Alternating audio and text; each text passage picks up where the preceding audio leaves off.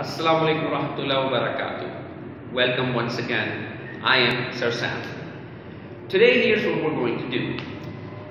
Now, the pronunciation of a sound that I'm going to teach you today really doesn't need that much attention, or I mean, we can do without? इसके लिए मैं अगर उर्दू में समझाऊँ आपको तो ये कि उसके बगैर काम चल रहा है। लेकिन अगर हम उसको भी बोलना शुरू कर दें सही तो फिर वो और ज़्यादा अच्छा हो जाएगा। सोने दे सुहागा, ठीक है? वो क्या है? वो है टी एच अब ये टी एच का जो साउंड है ना, इसको मैं आज आपको इसकी करेक्ट प्रोनाउंसिएशन बताऊँगा। याद रखें टी एच के दो साउंड होते हैं। एक को कहा जाता है वॉइस्ड और एक को कहा जाता है, बल्कि यहाँ पे पहले लिख देते हैं वॉइसलेस और एक को कहते हैं वॉइस्ड इसका क्या मतलब हुआ? वॉइसलेस और वॉइस्ड यानी एक में टीएच का साउंड ऑलमोस्ट नहीं होता। ऑलमोस्ट नहीं होता। इसमें होता है। अब वो क्या है? एग्ज़ाम्पल दूँगा तो बात समझ आएगी। ठीक है? वॉइसलेस एंड वॉइस्ड इसमें वर्ड्स आएँगे जैसे कि ये वर्ड मैं लिख रहा हूँ। ठीक है? जैसे कि ये वर्ड में लिख रहा हूँ। जैसे कि ठीक है? यानी कि ये वाले वर्ड्स हो गए। ठीक है? ओके ऑलराइट एक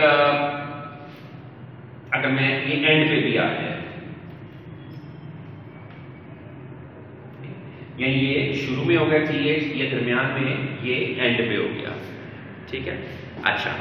अब ये जो साउंड होता है, वो इज़ लेस इसके लिए क्या करेक्ट प्रोनाउंसिएशन है? इसके लिए बोला ऐसे जाता है ऐसे थैंक यू ठीक है? फिर देखें गौर से। थैंक यू ठीक है? थैंक यू यूँ करके। थैंक यू नहीं कहना।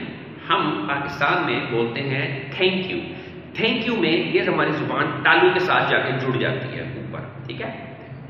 अंदर जो ऊपर तालू है, उसके साथ थैंक यू ऐसे नहीं बोलना, ठीक है? ये ज़ुबान आपकी ऊपर वाले दांतों के साथ सिर्फ़ आके टच करे, ठीक है? और वहाँ से आप थोड़ी सी हवा भी पुश करेंगे यानी सर ऐसे करेंगे ना thank you thank you like for example if holding a candle in my hand अगर मैं मोमबत्ती पकड़ी हो और वो जल रही हो the fire is coming and I say thank you sir sir ये बुझ जानी चाहिए इट शुड गो आउट ठीक है? अब अगर इसी तरह ये वो दरमियान में आ जाए, ठीक है तो इसका साउंड भी वही है।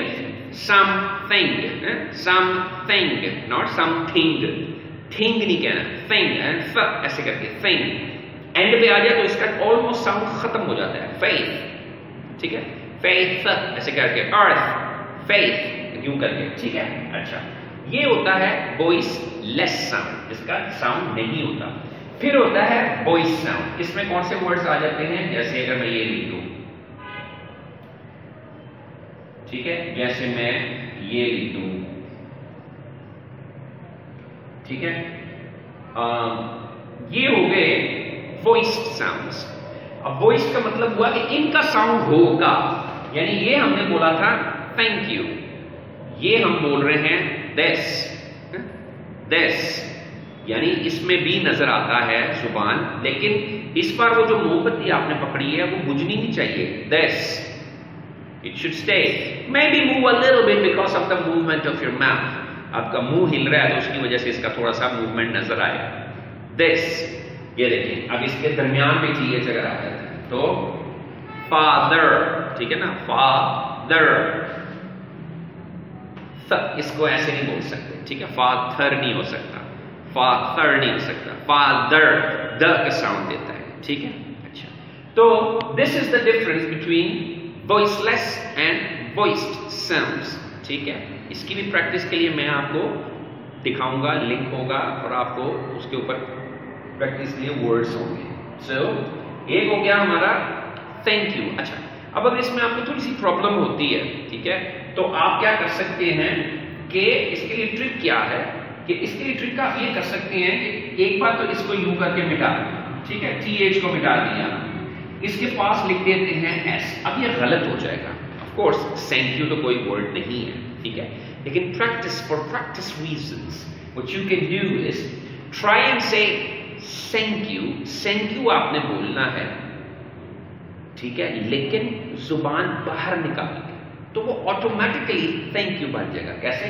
ये देखिए, मैं थैंक यू कहूँगा, ज़ुबान बाहर निकाल के थैंक यू खुद ही हो गया, देखिए। थैंक यू थैंक यू लगता है जैसे वही वाला बोला है। लेकिन मैं थैंक यू कह रहा हूँ, लेकिन ऐसे निकाल के वो कहा नहीं जाता।